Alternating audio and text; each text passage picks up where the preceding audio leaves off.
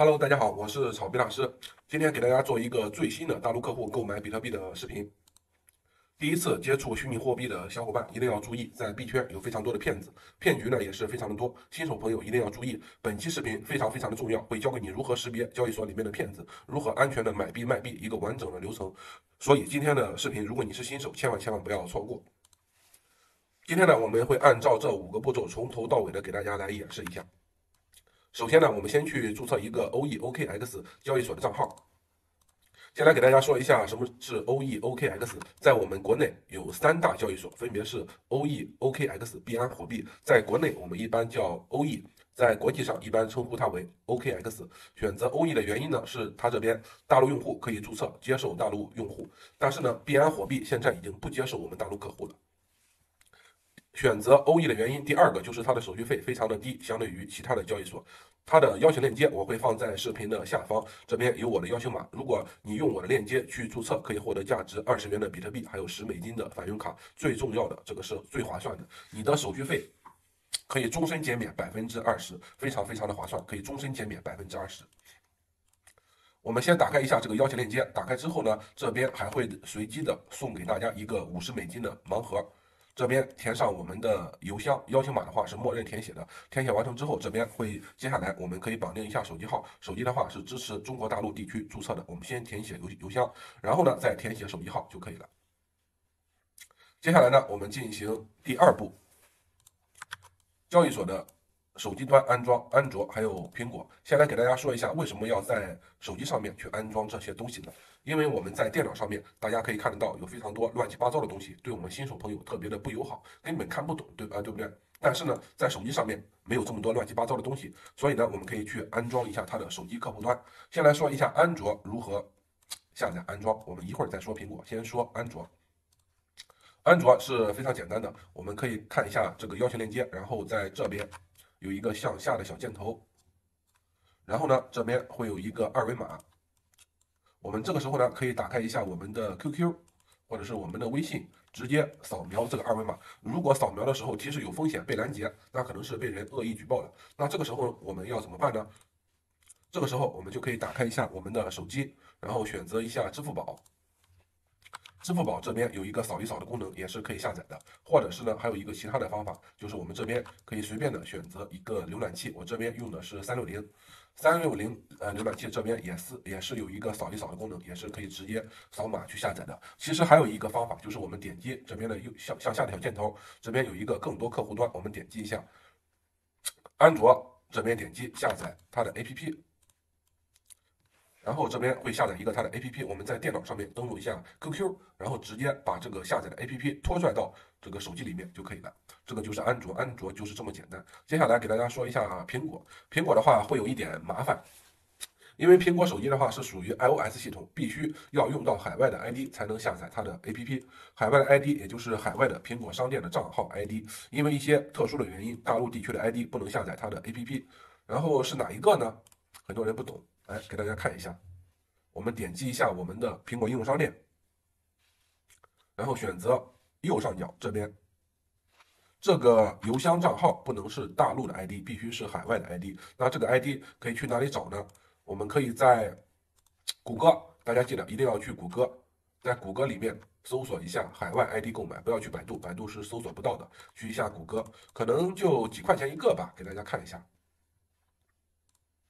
这边是十几块钱一个，这个是六六块钱，很便宜。这个是九块钱一个，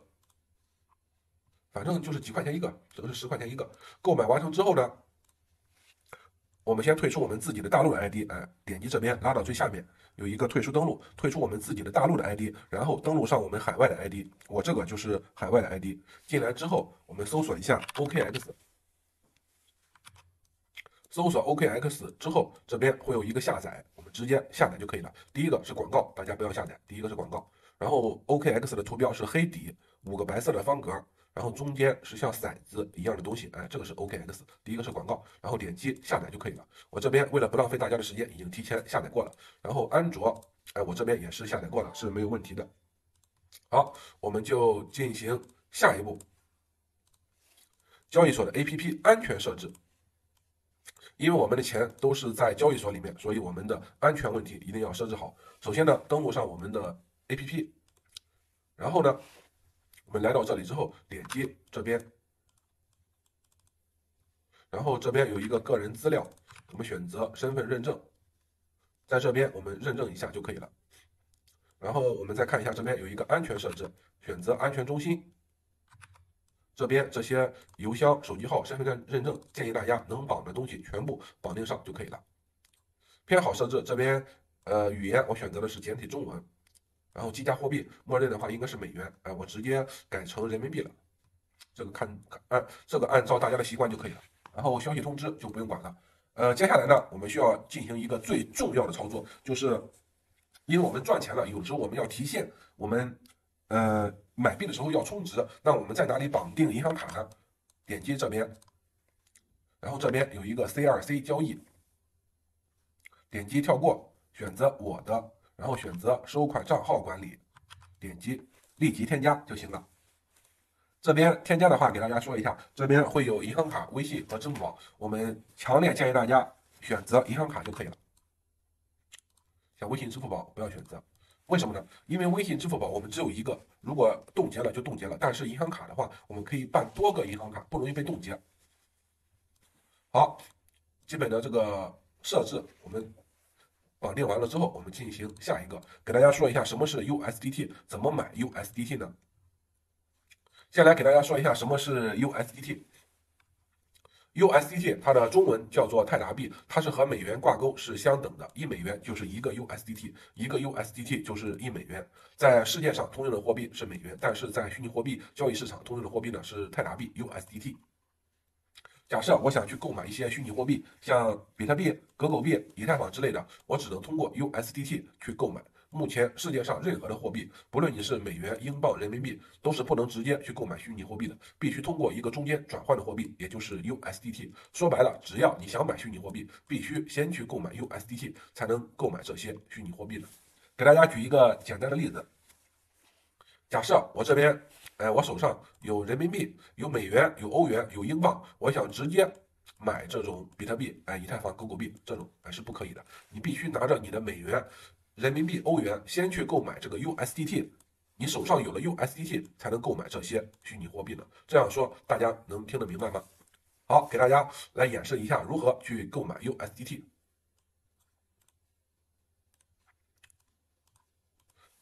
好，回到首页，我们选择这边的买币，这边有两个，有一个 C2C，选择 C2C，不要选择这个快捷，为什么？快捷是系统自动的匹配的。非常多的骗子，但是 C2C 我们可以自己选择商家。如果这里没有买币，你可以选择左上角，然后这边 C2C 也是一样的，点击跳过。好，这边就有非常多的商家了，我们可以自由的选择一下。这边选择购买，然后选择 USDT 金额，我们想买多少钱呢？我买两万，选择确定，然后支付方式我选择银行卡，点击确定。好，我们耐心的等一会儿，我这边网速呃不是很好。好了，我们这边呢，接着我们就可以筛选一下商家了。看哪里呢？大家就去看他们的成交量和成交率，越成交量越高，成交率越高，这种是最可靠。你像这边有一个三百多的，这边还有一个九千多的，哎，我们就选择哎这个九千多的，选择九千多的之后，我们点击一下它的这个名字，然后再看哪里呢？看它的开店时间，它的这个开店时间。越长越久越好，最好是一两年、两三年之上的店铺，越久越好。看它的总成交率、总成交单数，一万单百分之九十九的成交率很高了。然后它的时间这边已经是快两年的店铺了，哎，像这种也是没有问题的。然后我们选择这边的委托单，选择 USDT，好，这边七块二毛二，然后我们选择这边的购买就可以了，然后选择好的。然后输入我们的金额，假设我们想买多少钱的，然后输入我们的金额就行了。呃，我在这边呢，给大家来以截图的形式给大家来演示一下，选择 C2C，呃，在这边选择金额，然后支付方式这边一万，好多少钱？然后看一下这边的开店时间，呃，成交单数，然后成交率，像这个也是呃两年的店铺了，两万多单，哎是没有问题的。然后选择委托单，选择这边的购买。好，点击零手续费买入，然后这边会生成一个订单，卖家可能会发来一个消息，我们点击付款详情。好，我们先等，呃，有的时候呢，卖家给我们发来一条消息，这个消息呢，可能是卖家需要我们提供一下近期的流水明细截图，他需要看一下我们的银行卡是否是正常的，呃，防止我们是一些呃洗钱赌博的或者是返利的之类的。然后呢，我们这个时候可以去一下我们的银行卡。看一下我们的账户的明细，把我们最近的交易的明细，像我这边，呃，买烟、买酒、买水果、逛超市、点外卖，哎，我这种截图，哎，我给他看一眼，他感觉没有问题了，他这边就会把他的这些收款信息，像他的姓名、收款卡号、哪个银行，哎，他就会发给我们，我们再给，假设我们买一万块钱的，我们给这张银行卡。打过去一万块钱就行了，转完钱之后再点击我已支付，千万不要还没转钱呢就给人家点击我已支付了，一定要转完钱之后再给人家点击我已支付。这个的话，请大家放心，这个是平台担保的，他们在平台都有是担保金的，和淘宝交易是一样的。大约也就是等个几分钟的时间，我们的币就会到账。基本上他们放币的话都是几分钟的时间。为了不浪费大家的时间呢，我这边已经提前准备好了一百个 USDT。好。我们点击这边的资产，给大家看一下，这边是一百个 USDT，然后呢，我们点击资金，这边有一百个，但是呢，交易账户是没有钱的。这个资金账户和交易账户是什么意思呢？简单的给大家说一下，现在我们的钱是在资金账户，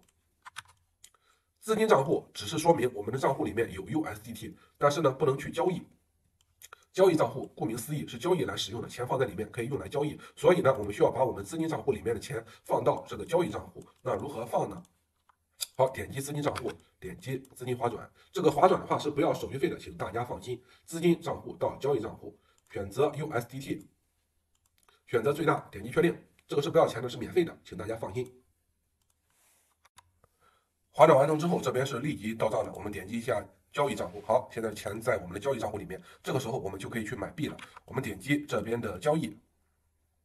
这边会来到这个交易的页面。先来给大家说一下，很多新手朋友不懂，先来给大家说一下，这边是我们要买的币的种类，我们这边可以选择比特币、呃狗狗币、以太坊之类的。呃，然后在这里有一个二二三七，二二三七是当前这个 ETH 以太坊的价格，上边是买入，下边是卖出，然后这边是买入，这边是卖出。然后呢，还有一个，我们买币的时候要把现价委托改成市价委托，因为市价委托成交速度快，价格便宜。假设我们这边想买比特币，我们点击这边的 ETH，我们输入 BTC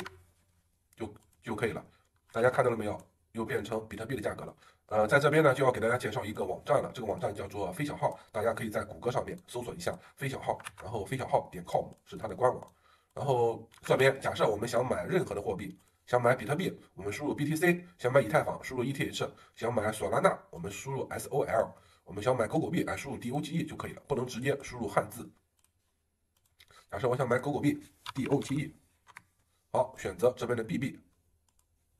大家看到没有，变成狗狗币了，零点零九二。那我还是回原来吧，我想去买我的以太坊，ETH。好，选择 BB，选择以太坊。好，和刚才一样，选择市价委托，然后呢，点击拉满。这个时候我们可以看得到，拉满之后拉到百分之一百，可用一百个 USDT，可买零点零四个以太坊。我们点击买入 ETH 就行了，点击这边的买入。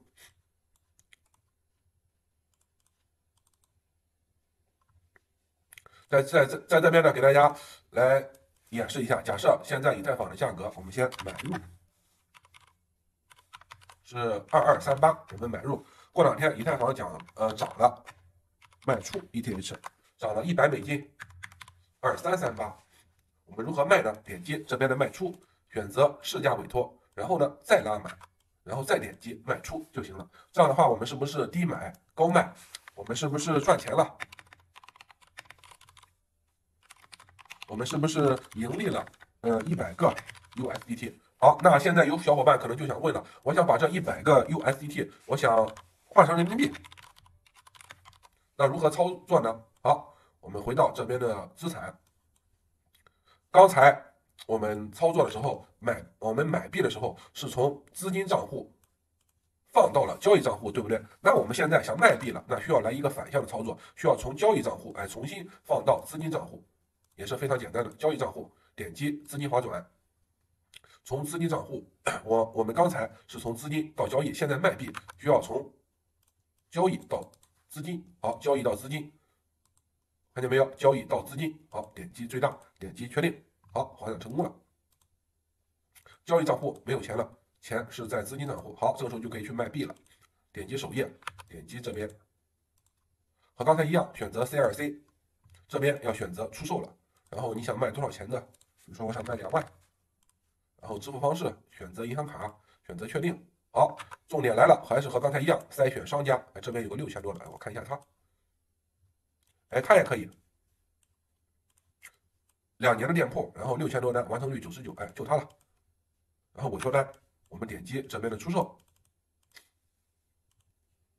选择最大就可以了。这样的话，我卖掉一百个 USDT 可以得到七百一十七人民币。点击零手续费卖出就可以了。大约几分钟的时间，卖家就会把我们的钱，呃，打到我的银行卡里面，是七百一十七人民币。这样的话，是不是低买高卖，盈利了之后换成一百个，把这一百个 USDT 换成人民币的一个全过程，是不是非常的简单？好了，今天的视频呢就到这里。呃，如果大家有什么不懂的，可以在视频下方给我提问。支援科技初创企业，A. 大学科技初创企业资助计划，B. 创科创投基金，培养创客文化，A. 一般支援计划，B. 专利申请资助计划。重点解读：以上一系列资助计划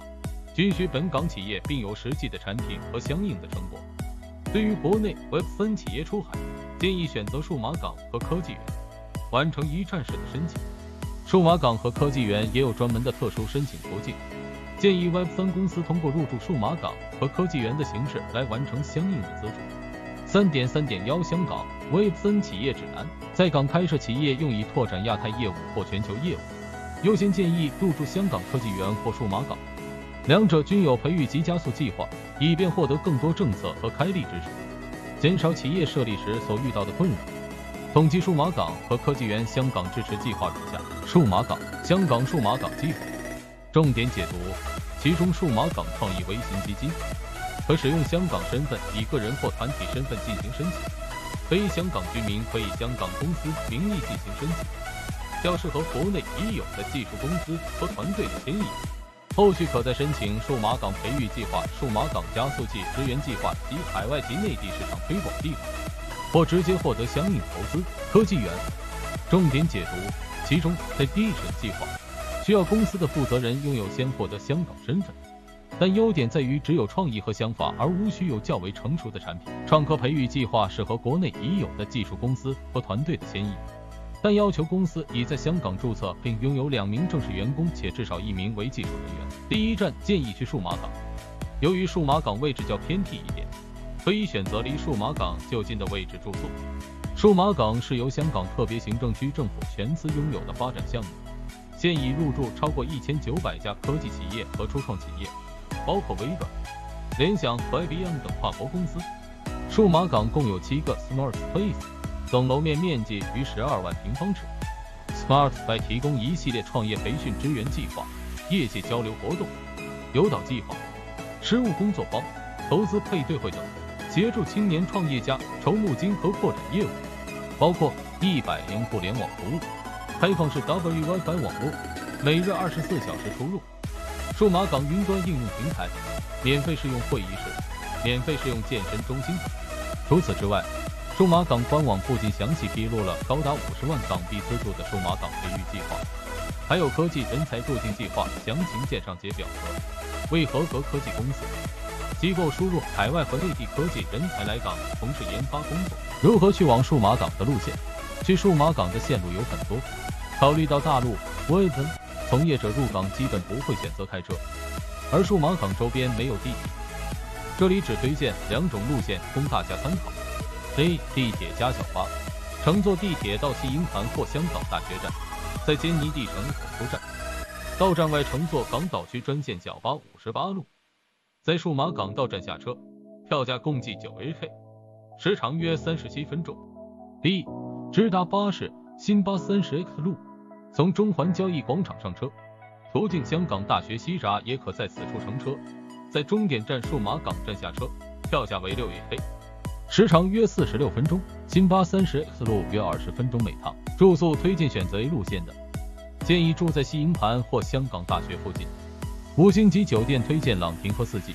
四星级酒店推荐华大盛品和詹酒店。选择 B 路线的，建议住在中环附近。中环是香港的繁华地带，也是香港商业中心。附近五星级酒店推荐中环石板街酒店和万丽海景。四季酒店推荐湾景国际和兰桂坊九如坊酒店。数码港附近配套设施，数码港设施配套完善，有数码港爱美酒店和数码港商场，以及瞭望南中国海景致的数码港海滨公园。三点三点三香港科技园指南。香港科技园是香港科技、科研和智慧生活的大本营，也是四周科技创新社区的中心，有着科学园、创新中心、共享工作空间、实验室。SEP Platform 创新董事、创新园等一系列完善且别具特色的基础设施，还有即将落成的港深创新及科技园。其中科技园位于沙田，园区提供专为创客及企业伙伴而设的研发办公室，面积达四百万平方公尺，超过一千一百家间科技企业及公司的生态圈，分别来自二十二个国家及地区。香港科技园有披露资助或志愿的三个计划。分别是高达十万港元的 ADON 计划，公司负责人需持有香港身份证，以及针对香港注册公司的高达一百三十万港元的创科培育计划，业务估值需达五百万美元，以及高达四百八十万港元的企业加速计划，业务估值需超五百万到五千万美元。详情见三点三点幺香港 Web 三企业指南内表格。科技园提供一系列齐备的配套设施，包括专门实验室和会议室。还提供人才培训及导师计划、初创交流活动、创业培训工作坊、企业对接活动、企业合作计划、募投活动等相关支援及服务。入驻科技园的条件：申请加入香港科技园突破计划的企业，必须从事与科技研发相关的业务。你在香港科技园进行的工作必须以创新研发为主。科学园的租金价格为每平方英尺每月 H 二十五美元起。如何去科技园的路线？科学园离沙田地铁站和大学地铁站都很近，从大学地铁站步行到香港科学园仅一点六公里。如果不考虑步行的朋友，也可以参考以下两个路线：A. 地铁加巴士，乘坐地铁到大学站后，在 B 口出站，在大学铁路站总站方向乘坐九八两百七十二 K 路，三站到香港科学园下车，票价共计八 H，时长约三十分钟。B. 直达小巴。从沙田地铁站出发，乘坐新界区专线小巴二十七路，四站到香港科学园公共运输交汇处企业广场下车，票价七 K，时长约二十五分钟。住宿推荐：大学站酒店较少，建议住在沙田站附近。五星级酒店推荐香港第一和沙田凯悦，四星级酒店推荐香港帝都和香港利豪酒店。二零四香港虚拟资产牌照，二零二二年七月六日。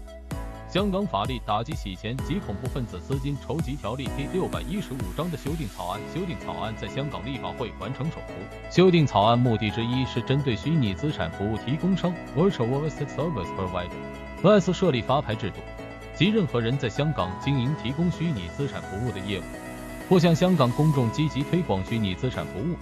必须向香港证券及期货事务监察委员会证监会事先申请并获得虚拟资产服务提供商牌照 （S 牌照），并遵循相关的反洗钱及反恐怖分子资金筹集法律条文。香港财经事务及库务局曾于二零二零年十一月至二零二一年一月期间就 S 发牌制度进行公众咨询，并于二零二一年五月刊发咨询总结。咨询总结修订草案是在咨询总结的基础上。为了遵循金融特别行动工作组 （FDS） 的建议，以及应对不断增加的虚拟资产洗钱及恐怖分子资金筹集风险，针对虚拟资产服务提供商设立发牌及监管制度，并纳入成文例重点解读，帮助客户经营管理虚拟资产及向公众推广虚拟资产服务需对应牌照。四点一服 SE 牌照的范围，VS 牌照仅适用于为虚拟资产提供服务的服务商。四点幺点幺虚拟资产服务的定义。修订草案将虚拟资产定义为符合以下说明的加密保护数码形式价值 （Cryptographically Secure Digital Representation of Value）。一、通过计算单位或所储存经济价值的形式表述。二、符合以下其中一项：得作为或你作为公众接受的交易媒介，用于一个或多于一个以下目的：单位货品或服务付款，b 清偿债务，b 投资或 b 提供权利、资格或途径。对以下事宜进行投票：管理、运作或管制任何加密保护数码形式价值的相关事务，或改变任何适用于加密保护数码形式价值的安排的条款。三、可透过电子方式转移、储存或买卖及四、具备证监会不时于线报刊登公告定名的其他特征。相比咨询总结对虚拟资产的定义，主要针对支付、储值功能的代币。修订草案下，虚拟资产的范围将扩展至平台治理代币 （governance token） 及能够对任何加密保护数码形式价值的相关事务的管理、运作或管制进行投票的代币，也将明显包括 BTC、ETH 等主流虚拟货币及稳定币，无论是以法币作为支持，其他虚拟资产作为支持，或算法稳定币。值得注意的是，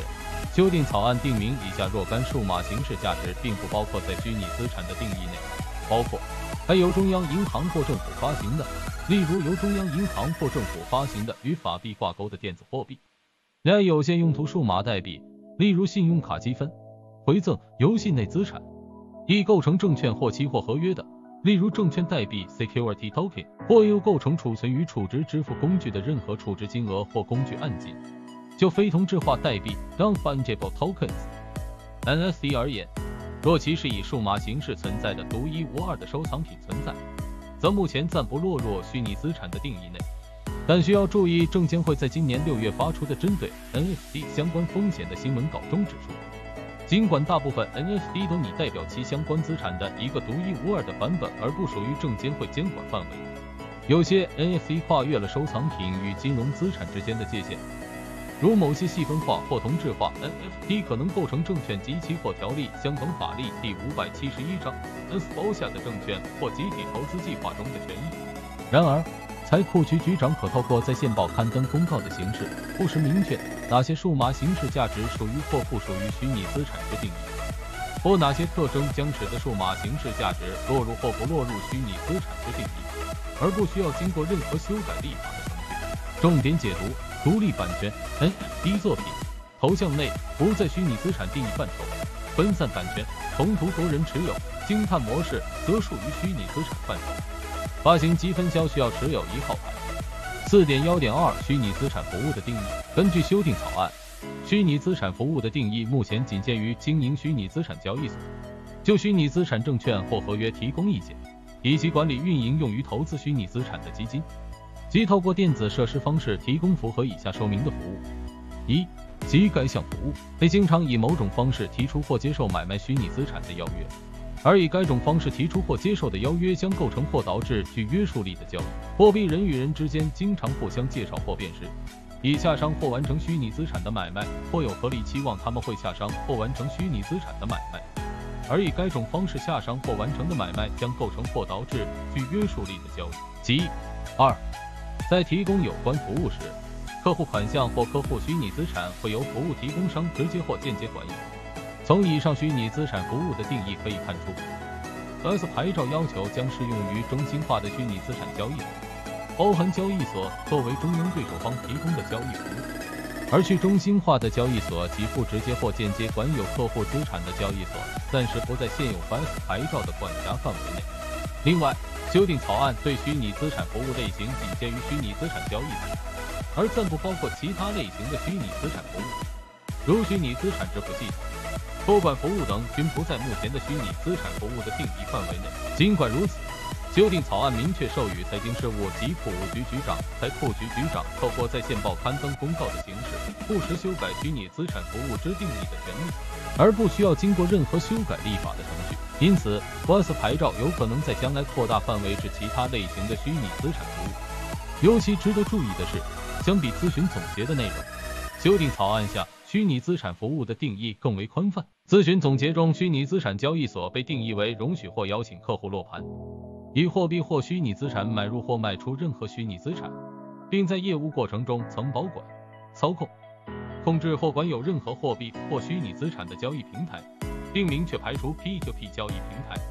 而修订草案把虚拟资产交易所的定义扩展至互相介绍或辨识买卖双方以洽商虚拟资产买卖，并间接管有客户款项或虚拟资产的情况。修订草案中的间接管有客户款项或虚拟资产指何种情况暂不明确，因此暂时不能完全确定提供虚拟资产 P2P 或 OTC 交易服务的平台是否在 VAS 牌照范围内。我们预期业界可能就 P2P OTC 交易平台是否受 VAS 牌照要求监管向证监会进一步提出咨询，而咨询过程可能在修订草案被立法会通过后，二零二二年第三季度 VAS 牌照制度正式生效前开始。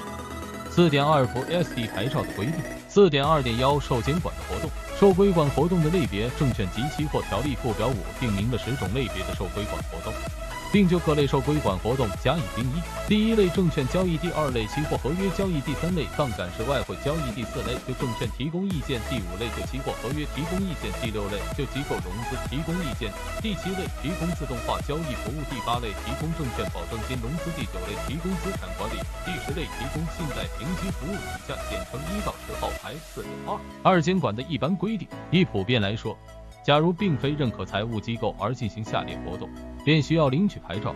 你是在香港经营某类受规管活动的业务的，法团证券及期货条例第一百一十四一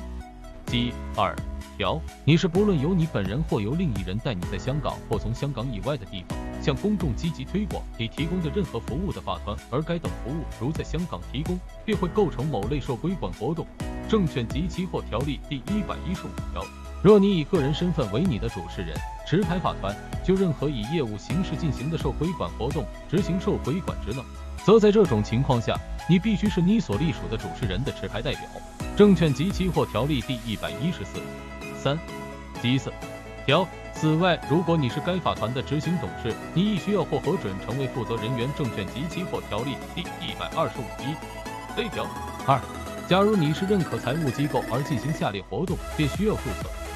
经营某类受规管活动的业务，但第三类杠杆式外汇交易及第八类提供证券保证并融资受规管活动除外。在这种情况下，你必须是注册机构。证券及期货条例第一百一十四一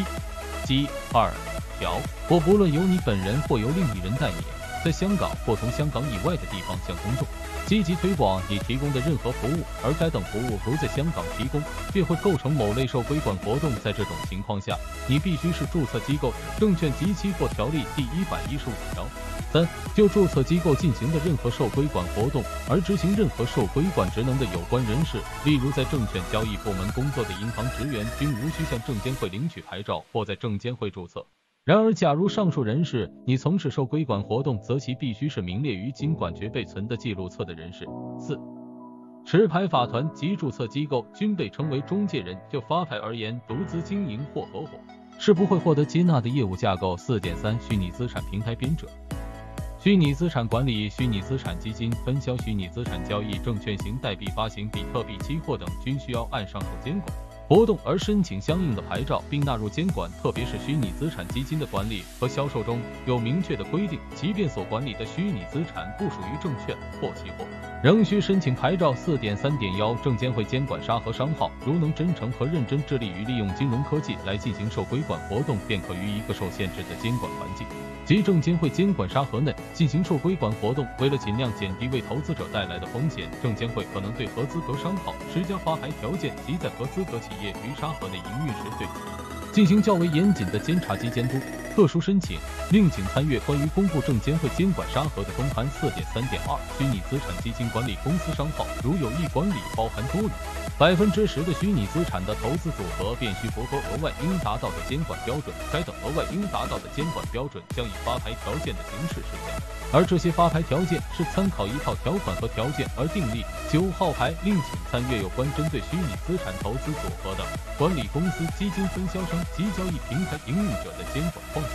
声明及该声明的附录适用于管理虚拟资产投资组合的持牌法团的监管标准和适用于管理投资于虚拟资产的投资组合的持牌法团的条款及条件。四点三点三，虚拟资产基金分销商在香港分销完全或部分投资于虚拟资产的基金的商号，将需领有第一类受规管活动证券交易的牌照或注册。鉴于对投资者构成重大风险，故证监会已在致中介人的通函，分销虚拟资产基金就于分销虚拟资产基金时应达到的标准与作业手法提供指引。一号牌。四点三点四，虚拟资产交易平台证监会于二零一九年引入有关虚拟资产交易平台的监管框架，提供虚拟资产交易服务的中央平台。如有意就至少一种证券型代币提供交易服务，可向证监会申领第一类证券交易及第七类提供自动化交易服务受规管活动的牌照。十七号，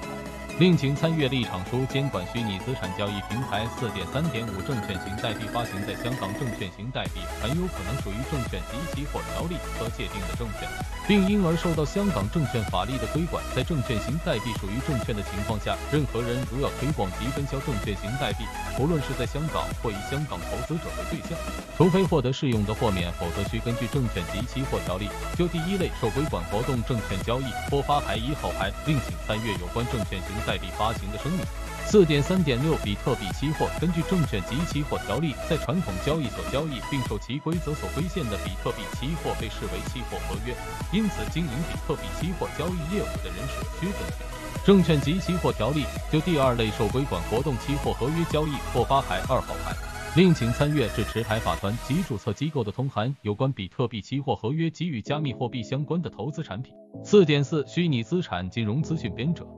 通过互联网信息平台提供虚拟资产相关信息或分析工具，需以市场公开数据和咨询为基础，不能就特定的证券或期货合约作出推荐或投资意见。若帮助用户进行投资决定和推荐，则需要获得对应的牌照。类似于合约地类型的工具或给用户虚拟币或合约的买卖建议，需要持牌进行。具体如下：四点四点幺，定期刊物的豁免证券及期货条例附表五中，就机构融资提供意见。就证券提供意见及就期货合约提供意见的定义，部分明确的作出若干或说是该等定义不包括任何人透过。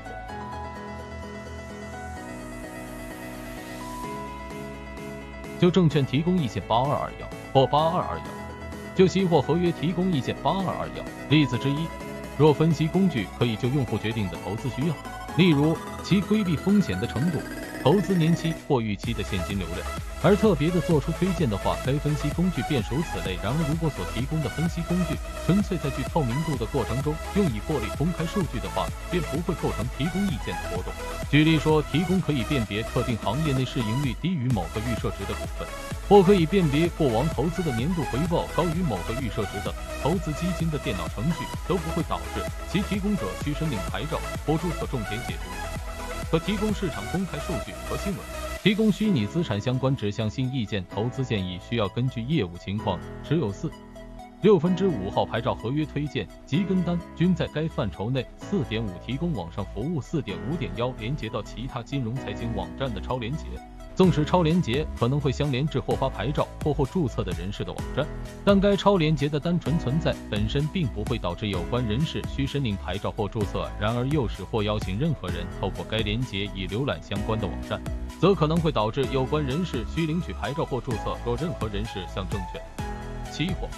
等感受外汇交易的交易商或其代表介绍客户，借以取得佣金回佣或其他报酬。则可能会构成受规管活动，因而需领取牌照或注册。重点解读：发布虚拟资产服务的推荐反映链接也需领取牌照或注册。四点五点二，提供自动化交易服务。一个法团如提供证券及期货条例附表五所定义的自动化交易服务，则其需根据证券及期货条例第 I 部取得认可，或根据证券及期货条例第 B 部获发牌照或注册，以提供该服务。作为一般惯例，如果该法团已是或发牌或注册。进行其他类别的受规管活动的中介人，即便需根据证券及期货条例第一部就第七类受规管活动申领牌照或注册。拟递交该等申请的中介人应首先参阅监管自动化交易服务的指引，并在有需要时就相关的业务计划咨询其专业顾问，重点解读。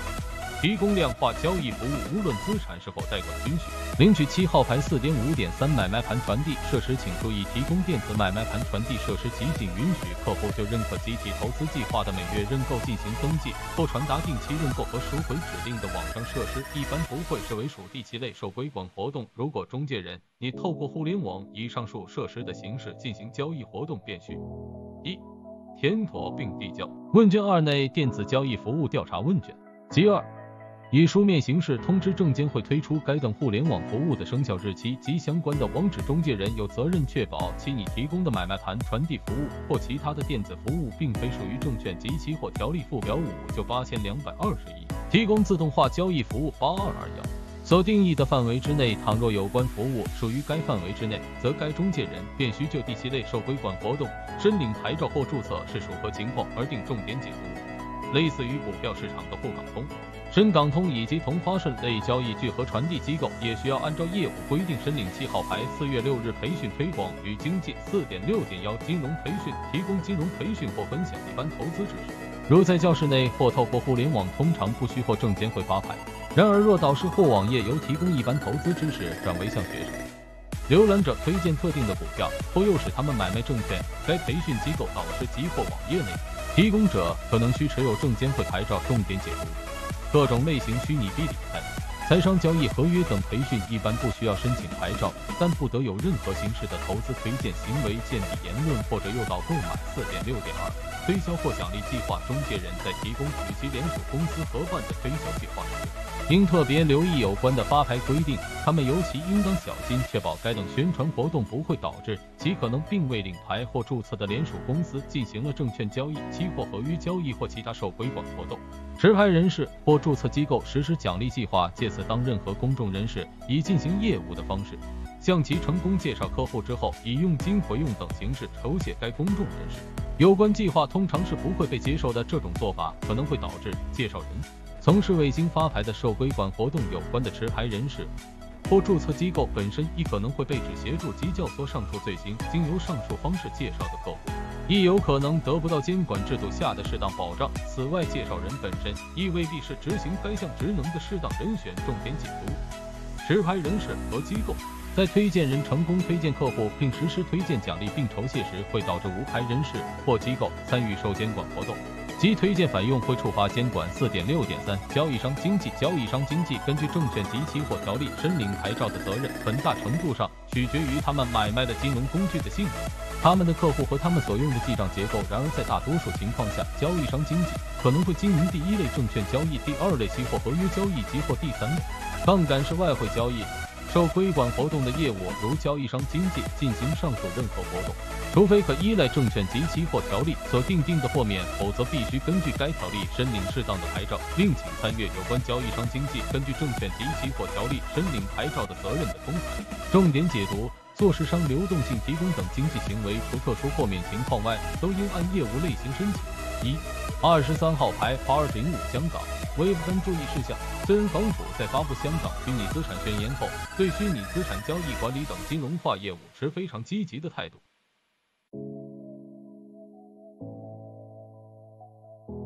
三、参加展览会、交易会，但并不包括向公众直接出售货物或直接提供服务或搭建展览摊位。四、解决索赔问题或者进行民事诉讼活动。五、应邀从事商务科技考察活动。其六，参与短期研讨会或其他会议期出席活动、发表演讲、作出发言，必须符合以下条件：该人并不会因在该活动中发表演讲、作出发布而获得报酬；因应有关活动而或提供住宿、交通、膳食等或或发还该类费用除外。短期访客先导计划除外。根据香港法律《入境规例》第一百一十五章第二一条的规定，给予某人以访客身份在香港入境的准许，需受下述逗留条件规限。该人不得接受有心或无心的雇佣工作，该人不得开办或参与任何业务，即该人不得就读于学校、大学或其他教育机构。根据香港法律《入境规例》第一百一十五章第四十一条。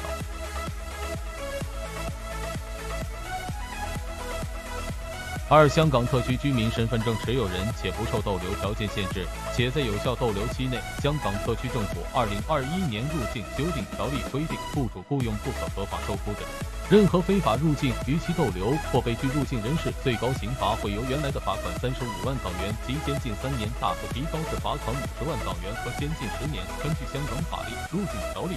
第一百一十五章第四十一条。任何人违反对他有效的逗留条件，即属犯罪。经定罪后，最高可判罚款港币五万元及入狱两年。重点解读：